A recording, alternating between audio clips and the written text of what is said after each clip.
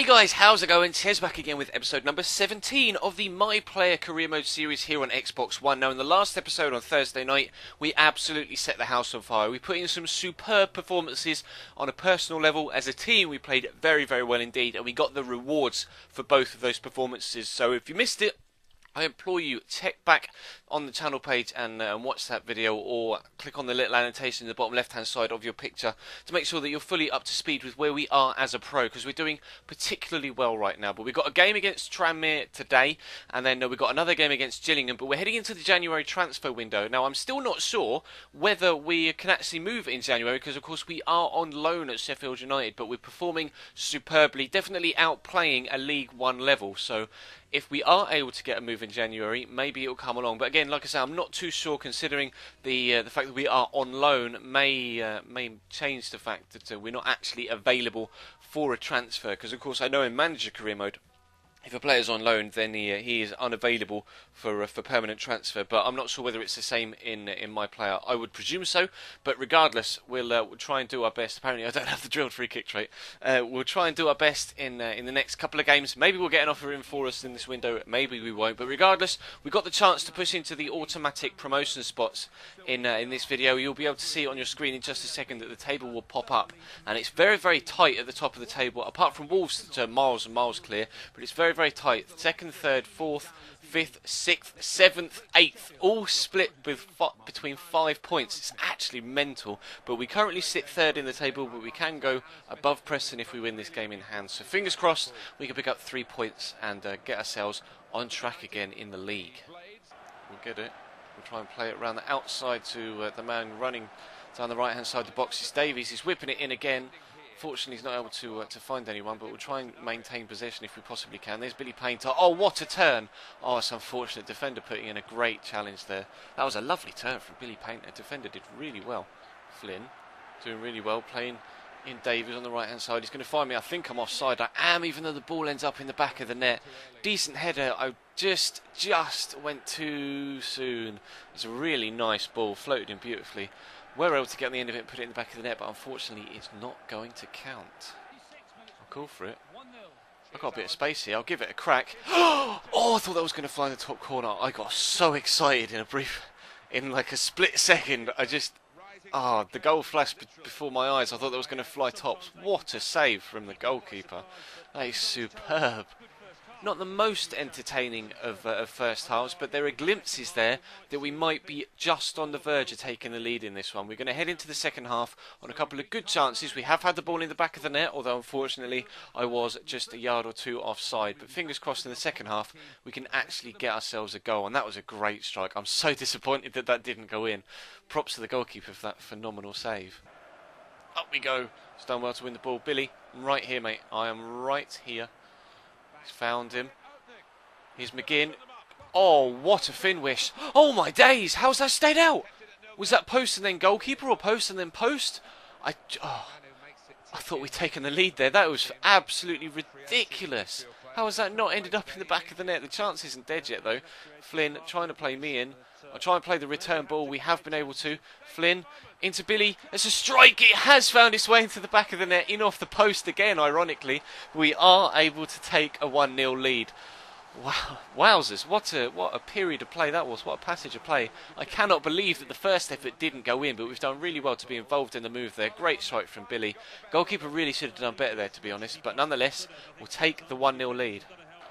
Tranmere on the attack. Robinson down the right hand side. Oh, he should finish that. He really should put that in the back of the net. That was a phenomenal chance. Just, oh, he got his technique all wrong. You can see there the way he struck the ball just was absolutely horrible. Maybe he's right footed. That might have been the, the reasoning behind that. Not, not quite as good on his left, but that was a glorious opportunity for them to get back in the game. Mistake.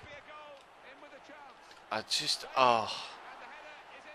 I almost didn't know what to say there. That was such a horrific mistake that I cannot believe that they're back on level terms. Who's, who does that go down to? Was it over the line before your man dived in? Oh, not quite. He's going to steal the goal off his teammate.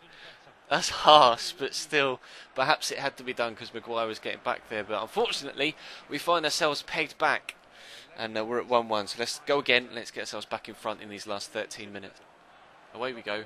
Away we go, Maguire. Hill, please just get rid of it. Thank you. I'm going to win this flick on. Oh, it's a great flick on. That header was so much better than I actually expected it to be. Davies, come on. Come on, I'm right here.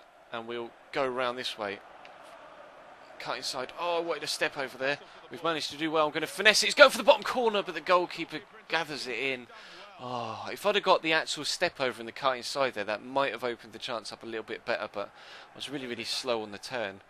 Unfortunately, we weren't able to get ourselves back in front then. We only take a draw from this one at home against Tranmere. After the form we've been in recently, I was particularly disappointed in myself for not being able to take the couple of chances that we had on a personal level. I'm annoyed that uh, I was offside for that chance that we did ended up putting in the back of the net. As you can see, that's our 30th match completed in the top right-hand corner. Acceleration's gone up one and our ball control's gone up one. But 80% uh, pass completion is decent, but unfortunately no goals from our four shots. Despite the uh, the long shot being a particularly nice one, in fact, we we still weren't able to get on the score sheet. So we stay at 1-1. We take a point. I'm not too sure what that does for the league situation. We'll have a quick look at the table before we take on Gillingham. We're still third in the table. Do we have a game in hand still? We do have a game in hand still. So if we can win that game in hand, we'll go above MK Dons and into second. I'm not sure whether this Gillingham game is that game in hand, but uh, let's have a look. Where are Gillingham? 22nd in the table, and they've played 25, so it might be.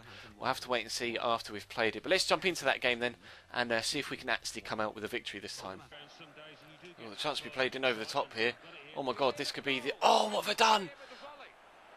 I absolutely panicked and tried to dink it. If I'd have just smashed that, we could have had an early lead. Wow. We are not firing on all cylinders today, are we? We could have had two or three goals in this episode already. That was frustrating. You can tell I'm recording it in a different session, can't you? FIFA form is real. I was unstoppable in the last episode when I recorded that session. So far this time around, really not the same. Didn't realise we'd been that good. Can we play me? Oh god, I've run so far offside. Just give it a whack, mate. Oh, he's hit the post. Oh my days. Come so close. Can we outmuscle Whelp down? No, we can't. They're going to clear it. Oh, chance to take the lead twice now in these opening 15 minutes. One for me, one for someone else. We just haven't been able to take it. That's a nice run. I'm going to play you over the top. He's on the end of it. McGinn! Ref! It's dropped to me. Strike! Straight the goalkeeper. McGinn again! Oh, the post! How we finished it! It's into the back of the net. Oh my days. What a passage of play again. It's ended in a goal for us. Not the celebration I wanted to do, but we'll have a tiki punch. I don't know what has gone on there. I thought McGinn was offside for the second effort. The first one was a great strike from him off the post. This one, not that one, that was my effort. That one, Oh, like four shots there. He's done really, really well to get that. Oh, I just, I don't know. I'm all a mess. That that complete chance was a mess, but we'll take a goal from two yards. It's Sheffield United one, Gillingham nil. Gillingham have a corner here. Not really too sure what's going to come of it. I don't know whether they're any good in the air. I've run off. That was my man on the edge of the box. Oh my days! That nearly ended up spectacularly into the back of the net. That chance only came about because I was lax defensively and left my man on the edge. Maybe I should be a little bit more uh, disciplined when it comes to my defensive duties. Harris into Scougall. I'm going to call for it here. McGinn. Oh, he's gone for a cheeky back heel. There's Murphy. There's Porter. He's taken around the defender well. Give it a whack. It's 2 0. That was a simple finish for Chris Porter there. I think it's Chris Porter. Might not be. C. Porter. But uh, regardless, we, we're uh, we're 2 in front, and uh, I'm pleased with that. Actually, that was a really nice move. Cheeky little back heel from McGinn. Really nice uh, feet there to take it around the defender, and and an in emphatic finish. And uh, we're 2 in front. Let's push on and maybe pick ourselves up a second goal uh, personally if we can. So it's 2 0 at half time. We've had an okay first half. Peter goal up ourselves, as has uh, Porter alongside us. Our goal was a little bit scrappy, to be completely honest, but uh, that was made up for by Porter's particularly good uh, dribble and finish. But hopefully we can extend the lead in the second half. Gillingham have been okay attacking wise. They've had a couple of opportunities that they perhaps should have finished.